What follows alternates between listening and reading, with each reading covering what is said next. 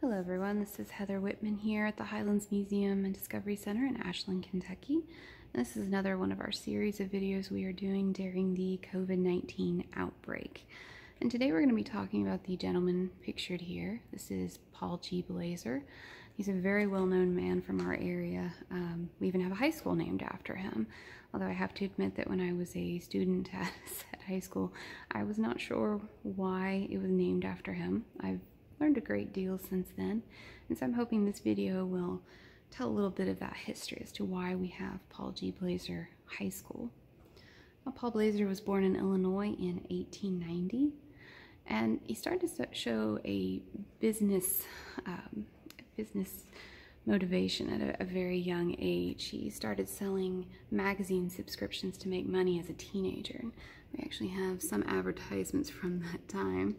Um, he became so successful at this that he was able to hire an adult secretary and he paid her out of his profits. He studied at the University of Chicago where he met his future wife, Georgia or Gigi Monroe and he signed up to enlist during World War One. However, unfortunately, a bad back kept him from fighting. It was something that would bother him pretty much his entire life was those back issues. He started his career in oil in 1919 at the Southern Refining Company in Lexington, Kentucky. But by 1923, he had left that job. He went to work for a man named J. Fred Miles, who owned the Swiss Oil Company. Miles wanted him to be the general manager of a new refinery, and Blazer was permitted to pick the location of the refinery. He chose the old Catlettsburg refinery, which is located in nearby Catlettsburg, Kentucky. It was purchased in 1924, and they renamed it the Ashland Refining Company. We've got a picture here of that Catlettsburg refinery from 1931. Um, Blazer immediately went to work. He worked very long, long hours, um, sometimes almost 3 o'clock in the morning, but he managed to turn the refinery around in just a year. Um, Miles eventually left that company, and Blazer was president of both Ashland Oil and Swiss Oil by 1935. It was at that time that they moved the headquarters of the company to downtown Ashland a photo here of that old headquarters. Um, that building was located just down the street from the museum here on Winchester Avenue. And it was also at this time that the Swiss name began to recede. Um, Ashland was outperforming its parent company, and by 1936, the two companies merged to become the Ashland Oil and Refining Company, many people in Ashland are very familiar with. During the Great Depression, uh, the company managed to survive and even turn a profit, a success that was attributed to, Bra to Blazer. Um, during World War II, all refineries, of course, were asked to increase production, and Ashland Oil was among those. And Blazer worked with the government to build a new aviation plant to help with the war effort. It was also during the war that Blazer started to notice some health issues. Um, he took the position of chairman and chief executive officer, and he hired a new president, J. Howard Marshall, who's pictured here with Blazer in 1948. We have another video that we did um, about Marshall's experiences during the war um, that involves Hitler's telephone here at the museum, and that video is also available on our YouTube and also on Facebook. You should check it out if you haven't already. I also have in this case um, Blazer's hard hat that he would wear on the job. And we also have a globe. This is what used to sit on the top of the old um, gasoline pumps. Also, I wanted to talk a little bit about Blazer as a boss. Um, he was known to have very high expectations. As we know, he was a hard worker himself, so he expected a lot out of his employees. But he was also very interested in their lives. He wanted them to have social lives. The company hosted picnics, softball teams, bowling teams, all kinds of different clubs. And something that they became very well known for were the annual Christmas party. Um, I have here a program from one in 1948. This was always a big to do in the area. People have fond memories of the Ashland Christmas parties. Um, they were very lavish. They had circus performers there. Uh, employees' children were invited and they were always given wrapped presents, and Santa Claus always made an appearance towards the end.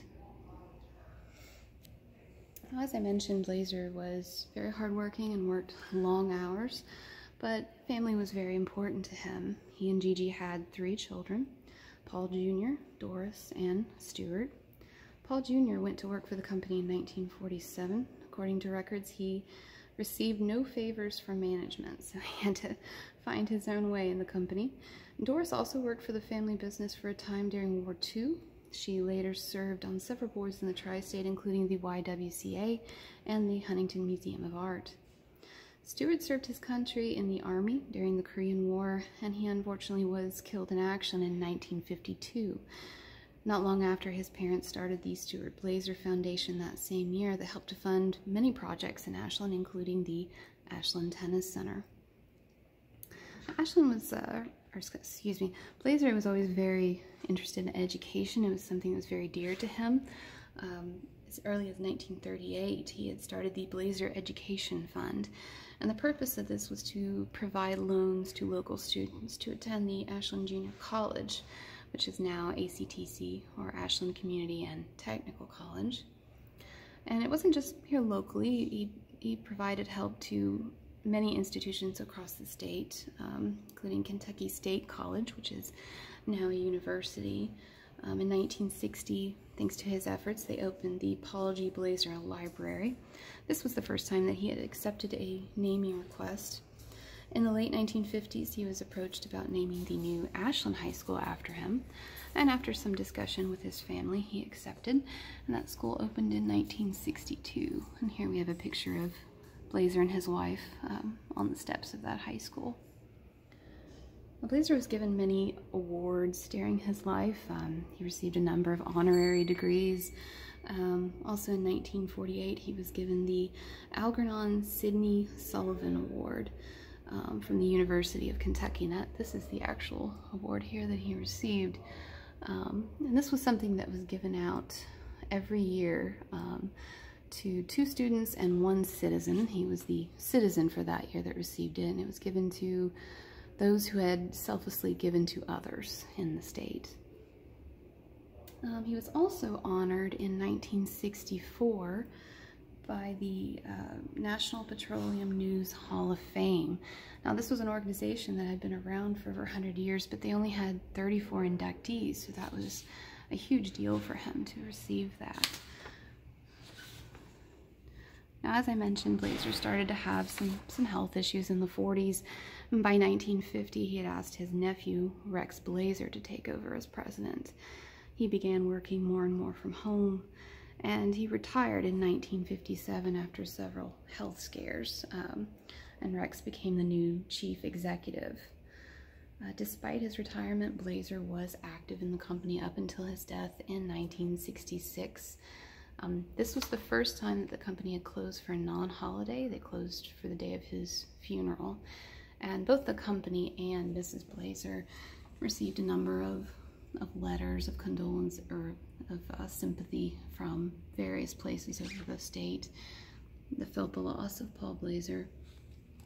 I really like this picture here. Um, this is actually from the Freedom Refinery in Pennsylvania um, having a memorial service for Paul Blazer. So, you know, the, the effects of his loss were felt that far away.